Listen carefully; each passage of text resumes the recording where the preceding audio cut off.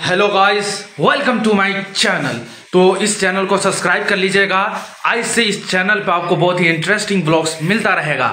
तो गाइस सबसे पहले इस ब्लॉग में हम चाहते हैं कि आप लोगों को हम अपना इंटरव्यू दे दें।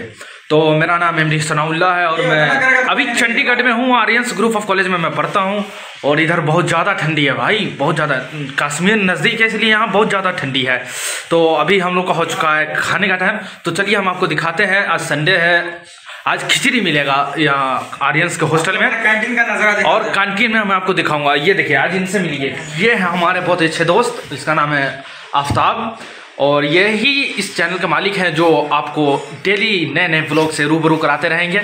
और हमारे रूम में जो है ये देखिए मैं आपको आप अपने रूम के बच्चों से मिला रहा हूँ। ये देखिए ये है फ्री फायर का प्रो प्लेयर प्रो पीरो ये देखिए ये देखिए, ये प्रो प्रो प्लेयर है हमारे इसका। एक एक प्रो प्लेयर इधर है। ये मिस्टर पठाकू भी यहाँ प्रो प्लेयर है, देख लीजिए। फ्री फायर खेल रहा है एकदम मज़े से। तो अब हम लोग चलते हैं।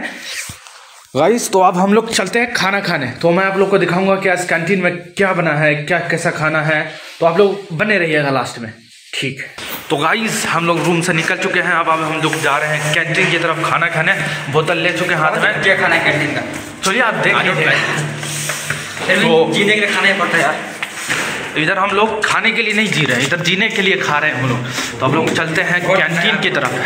दिखाते हैं आप लोग को कि आज ठंडा बहुत है ठंडा यार बहुत ज़्यादा ठंडा इधर। ये हमारा हॉस्टल है तो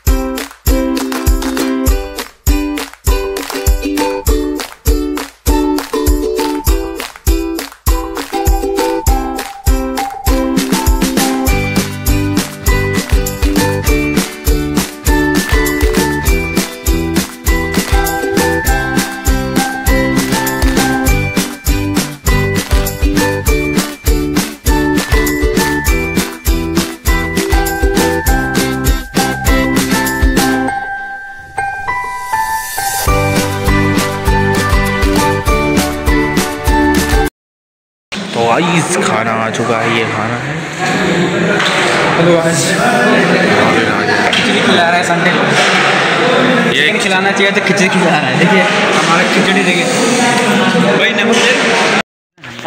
तो गाइस आपने देख लिया आर्यस ग्रुप ऑफ़ कॉलेज का जो कैंटीन है कैसा है।